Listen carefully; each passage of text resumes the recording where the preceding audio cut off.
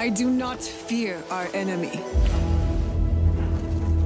They talk of peace and dream of war. Welcome to Mojo Plays, and today we're looking at the biggest things you need to know before playing Assassin's Creed Shadows this year. Also, a big thank you to Ubisoft for inviting Mojo Plays to Ubisoft Forward to experience Assassin's Creed Shadows.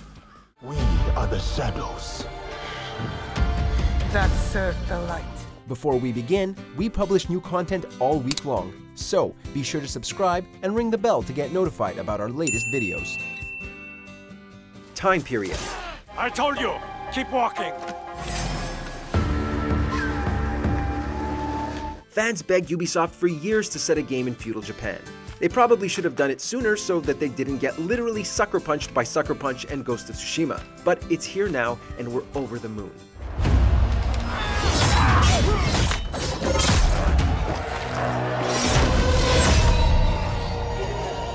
We're going to the Sengoku period, a violent era of Japanese history in the 15th and 16th centuries, as daimyo Oda Nobunaga is in charge of nearly all of Honshu. History buffs will know that Nobunaga is destined to be betrayed by one of his most loyal generals, Akechi Mitsuhide, in the 1580s, and we're sure to see this play out in the game given who its protagonists are. More on that later. We are the shadows. That serve uh, the light. World. Their soldiers killed everyone. I do not fear our enemy.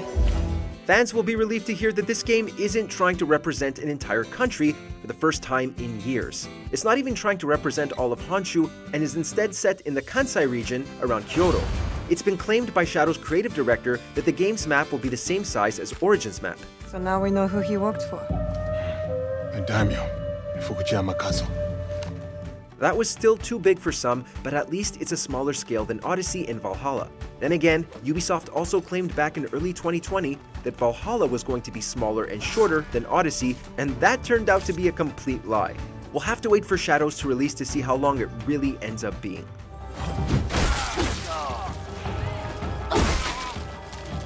Dual protagonists.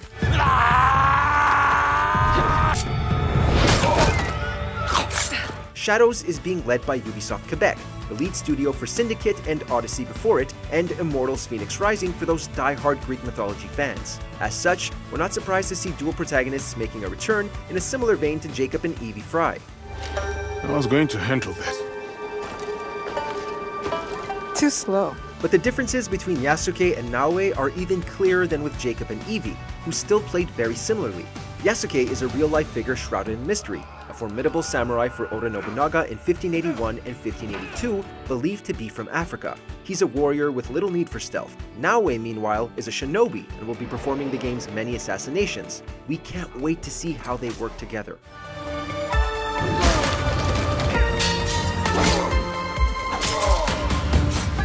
Seasons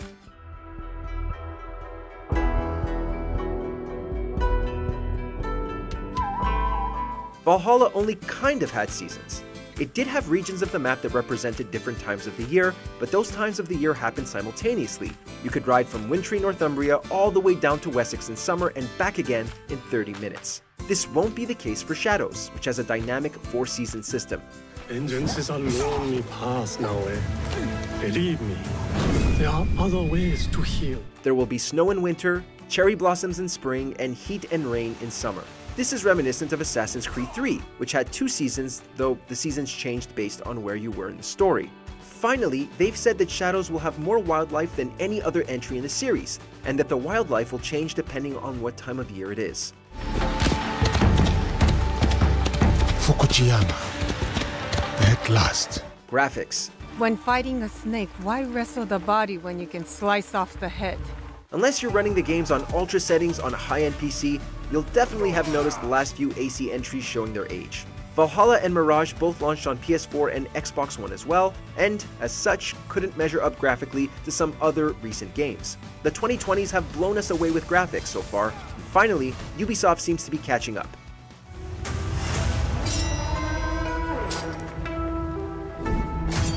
Our people deserve to be freed of the oppressor's grasp. Shadows is the best looking AC game yet, and hopefully it'll also run at 4K 60 FPS as standard.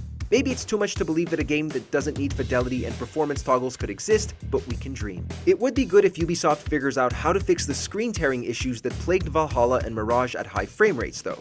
A stranger might make good merit, ridding a village of a threat like these men. Is that so? Then I shall see it done. Environmental manipulation.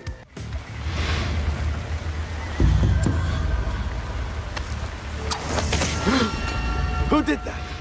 Ubisoft has already talked about how the changing seasons will affect the environment, such as rivers freezing over in the wintertime so they can't be used for stealth opportunities, but there are many other ways to use the environment too. One thing we've seen is Naoe extinguishing lanterns to create darkness that she can then use for sneaking. This also distracts any nearby guards who see the lights go out.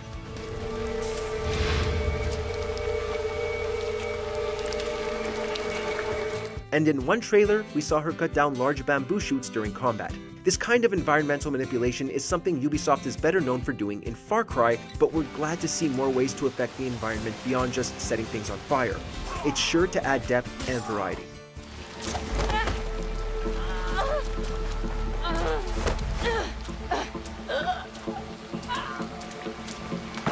Parkour.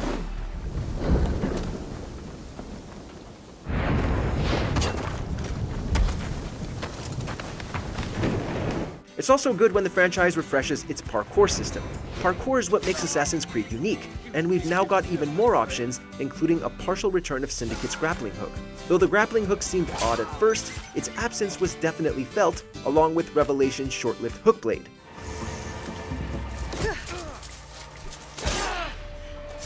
Naoe has a new grappling hook attached to a rope, allowing her to quickly scale walls, swing, and even use it to assassinate people from afar, much like the brutal rope dart in Black Flag that could be used to hang enemies from trees.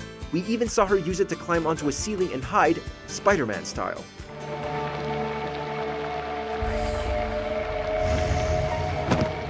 Stealth.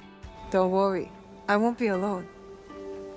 It'll be me and the shadows. Speaking of hiding, Naoe has more stealthy strategies available to her than just utilizing this grappling hook.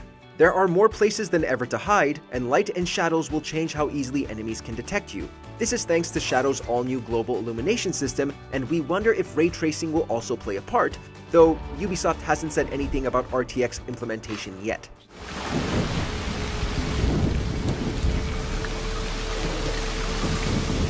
It's rare to see a modern stealth game actually utilize shadow cover, so we're glad to see it return as a mechanic.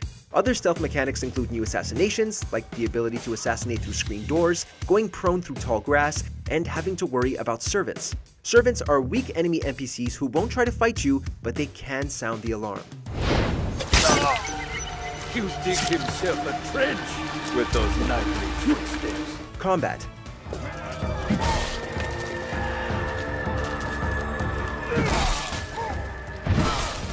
On the flip side of the stealth gameplay is the combat. While Yasuke is our main combatant, Naoe can certainly hold her own with her unique weapons too. But Yasuke is likely more versatile and will hopefully have more options for what weapons he's equipped with, with the traditional katana complemented by other deadly tools. There's also an armor system within combat, as you're able to break an enemy's armor so that it falls off and they're more vulnerable. This, again, makes combat more dynamic than it's ever been before in the series, which makes sense because it has the deep swordplay mechanics of games like Sekiro and Ghost of Tsushima to compete with.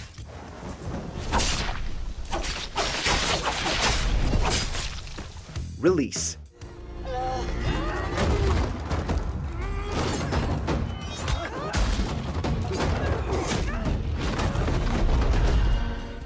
So, when can you get your hands on Assassin's Creed Shadows? Currently, the release date is November 15th, 2024, and Assassin's Creed is a series that Ubisoft rarely, if ever, delays, so we're sure it will make that deadline. If you pre-order the collector's edition, however, you can play 3 days early. In that collector's edition, you get a steelbook, art book, statue, world map, and some other trinkets. As for platforms, it looks like Ubisoft has finally ditched 8th gen consoles, and it only took 4 years. Beyond what we see, and we must look for it together. It's going to be released on PS5, Xbox Series X, PC, and bizarrely on macOS if you have Apple Silicon. There's also going to be a season pass included in certain editions, so you can be sure we're going to see DLC released for Shadows 2. To being allies then. Let us know in the comments how hype you are for Assassin's Creed Shadows.